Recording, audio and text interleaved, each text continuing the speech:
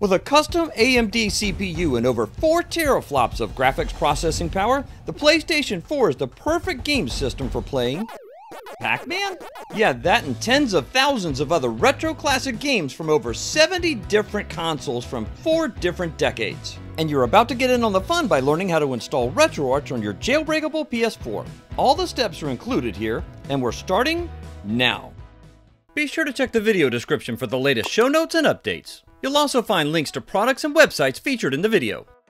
The first step in the process is to visit the GBA Temp website to get the latest version of RetroArch and the RetroArch Cores installer for the PlayStation 4. It's linked for you in the description. Scroll down on the page until you see the Downloads section. Right click on each of these links so that you can open them up in separate tabs. They're going to link to mega.nz for two separate downloads. Once you have both of these download links open in your browser, you can visit them separately to get each separate download. The first of which is the RetroArch package file itself. Come down to the download link in the bottom right corner and click the button to download the package file directly to your downloads folder. And the second one is the Cores installer for RetroArch on PlayStation 4. Again, just click the download button in the bottom right corner to grab this file. But do make note it's very large, well over 1 gigabyte, so it might take you a few minutes to get it downloaded to your system.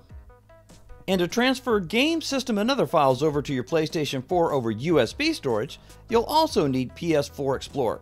It's hosted on the GitHub and linked for you in the description. Scroll down on the GitHub page to the Assets section and click the download file shown here. Okay, I'm going to slow the roll here for just a minute so we can take a look in the Downloads folder and see what you're going to have in there and what you'll need. You've downloaded three different package files to your Downloads folder, and here's what they are and what they do. There's RetroArch, which is the actual software itself. You'll also have the RetroArch Core installer, which is a package file, and you'll have a package file for PS4Xplorer. In addition to all of this, you're going to need game content and also system BIOS files for key game systems. In this case, I've just got one folder that has the system BIOS files, along with a couple of ROMs each in an SNES, NES, and Sega Genesis folder. Insert a USB drive formatted in exFAT format into your computer. I named this USB drive subscribe so you won't forget to subscribe while you're here. Hey, we've got a great community here and you belong here with us. In the downloads folder, you can grab everything, every file, every folder, everything, and copy it, and then just drag and drop it directly onto the root of your USB storage. Once you've got all of the files and folders copied over to your USB storage, you're done with it. You can close out any instances of File Explorer Eject your USB storage from your computer and put it into the rightmost USB port on your PlayStation 4. You'll need to activate the jailbreak on your PlayStation 4 or PlayStation 4 Pro. Go to your web browser and then navigate to your favorite location for running the jailbreak process. In this case, I'm using the Hakuraifu, Hakuraifu, Hakurafu, that website. Whichever exploit site you use, I'd recommend if they have GoldHEN listed that you run GoldHEN. It's my understanding, at least at this point, that GoldHEN is more up to date than Mira, and it performed really well with RetroArch. In any case, whichever homebrew enabler exploit you use, let it load up, and once it's complete, you can press the PlayStation button to go back to the main menu of your PlayStation 4. With the jailbreak enabled, now you can install the three package files you put on the USB storage. Go up to the top navigation and scroll to the right to Settings and select it with the X button. Inside Settings, use the D-pad to scroll all the way down to the bottom of the list to Debug Settings and select it with the X button. The first listing you'll see here is Game, select that with the X button.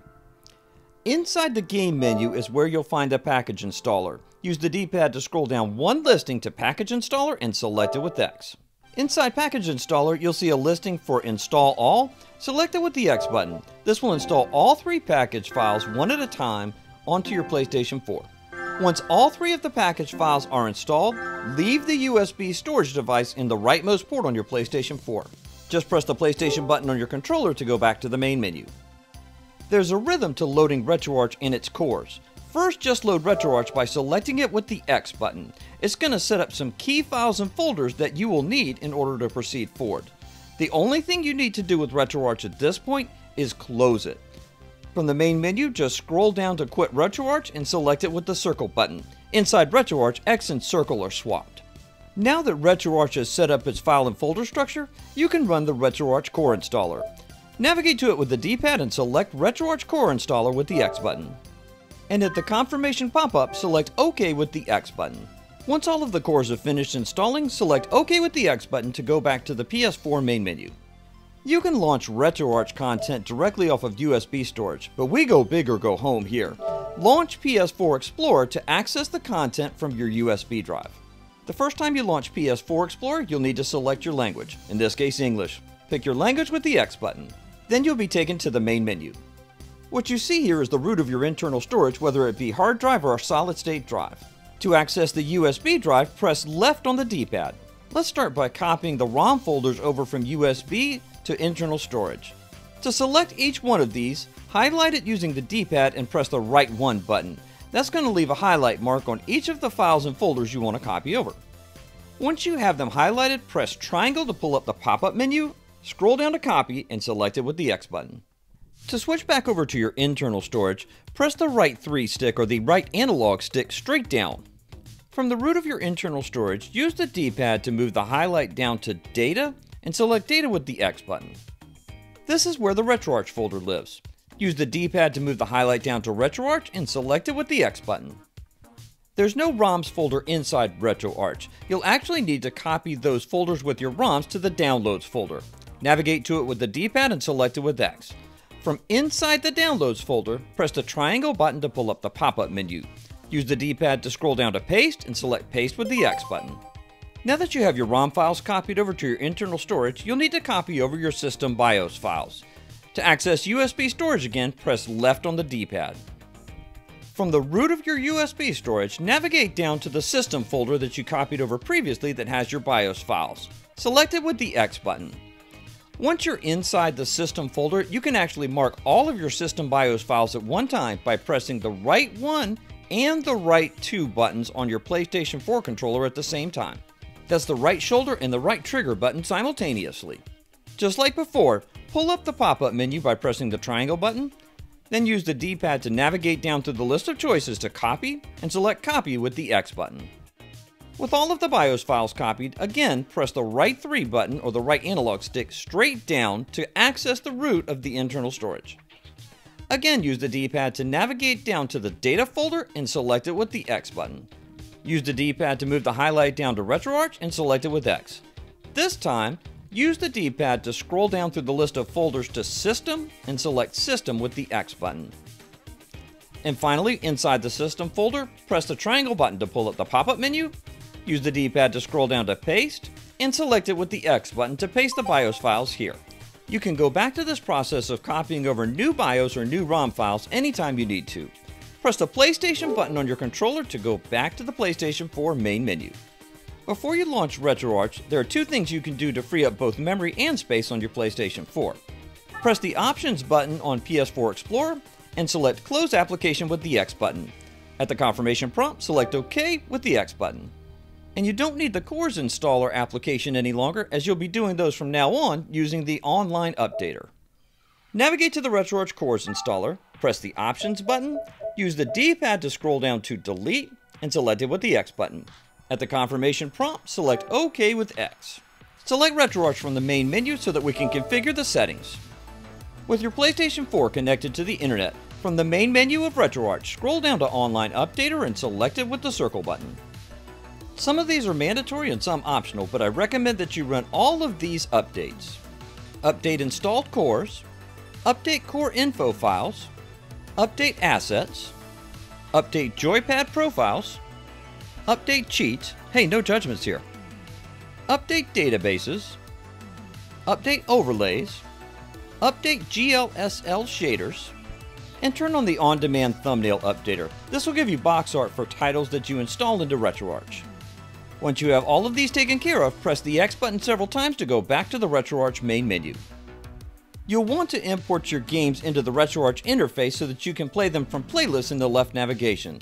To do this, from the left navigation, scroll down to Import Content and select it with the circle button. The first listing is Scan Directory, select that with the circle button. You'll be prompted to either select your internal storage, which is data, or USB 0, which is your USB external storage. In this case, we've got the games copied over to internal storage, select data with circle. You'll see the RetroArch folder here, use the D-pad to navigate down to RetroArch and select it with circle. Use the D-pad to move the highlight down to the Downloads folder and select Downloads with the circle button. This is where you want to conduct the scan. From the list of choices, select Scan this directory by moving the D-pad highlighter there and select it with circle. Be aware, if you have a lot of ROMs to scan, this can take from several minutes to several hours. Once all of your content has been scanned, press the circle button several times until you get back to the RetroArch main menu. If you look in the left navigation, now you'll find that there are folders representing the various consoles that I've scanned and imported content into RetroArch with. If you scroll down to these folders and drill into their content, you'll see that the online thumbnail updater is going to add the box art for each of the games that are listed for each of these systems. Pretty cool, huh? To launch the game of your choice, use the highlighter to scroll to the console that you want and select the game you want. In this case, let's try Super Mario World. Select it with circle, select run with the circle button, and you'll be presented with several core possibilities. I'm just going to pick the first one on the list here by selecting it with the circle button. Once you have your core chosen, select Run with the circle button. And in no time at all, you'll be playing your retro game favorites on your PlayStation 4. And for even more great PlayStation 4 videos, check out this video shown on screen and linked in the pinned comment and description below. See you over there!